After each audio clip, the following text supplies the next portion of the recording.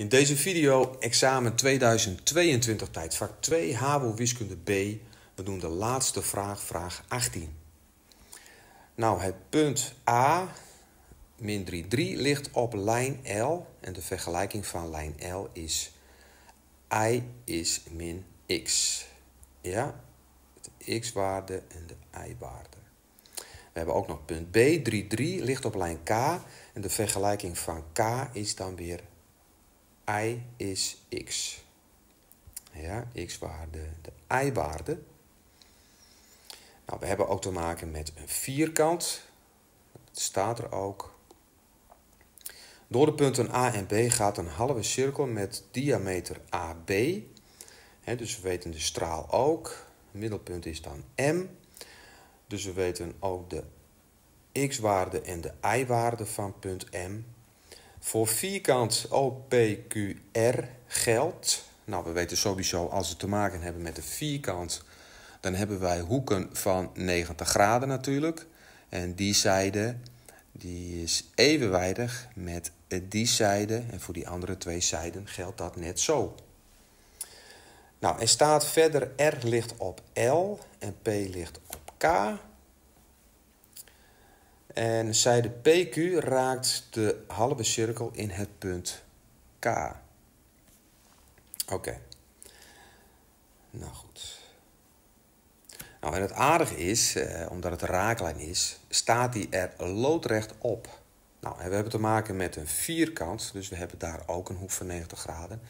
En dat betekent dus eigenlijk, als ik een lijn ga tekenen door M en K, ja, dan zijn die ja, daar weet ik eigenlijk al de helling van die lijn, want die zijde is evenwijdig met die zijde. En die lijn die gaat door M en K, die heeft dus dezelfde helling als die lijn. En ik weet ook de startwaarde. Oké, volgens mij heb ik alle ingrediënten om te berekenen de coördinaten van K. Nou, wat heb ik nodig? Ik heb de vergelijking nodig van de halve cirkel. Dat moet lukken. En ik heb de lijn nodig door M loodrecht op PQ. En die heb ik eigenlijk net al gezegd. Dan beginnen we met die halve cirkel. En als je de formule opstelt van een cirkel, dan weet je x kwadraat plus y kwadraat is r in het kwadraat. De straal hebben we.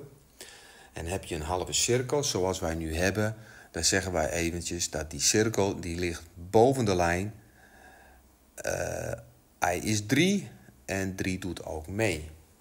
Oké, dus we hebben een x in het kwadraat. We hebben een verticale verschuiving. Ja.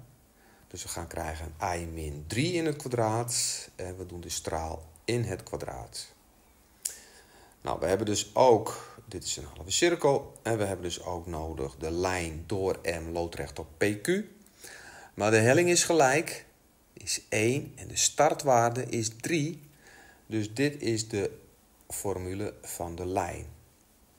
Dan gaan we substitueren, dus dat betekent dat ik die i, ja, die, die ga ik vervangen door wat i is. En i is x plus 3. Nou, dat ziet er zo uit. Dus ik ga die i vervangen door x plus 3. En er staat ook nog min 3. Nou, dit is uh, goed te doen, want dan heb ik hier x kwadraat plus x kwadraat. Nou, dat is 2x kwadraat.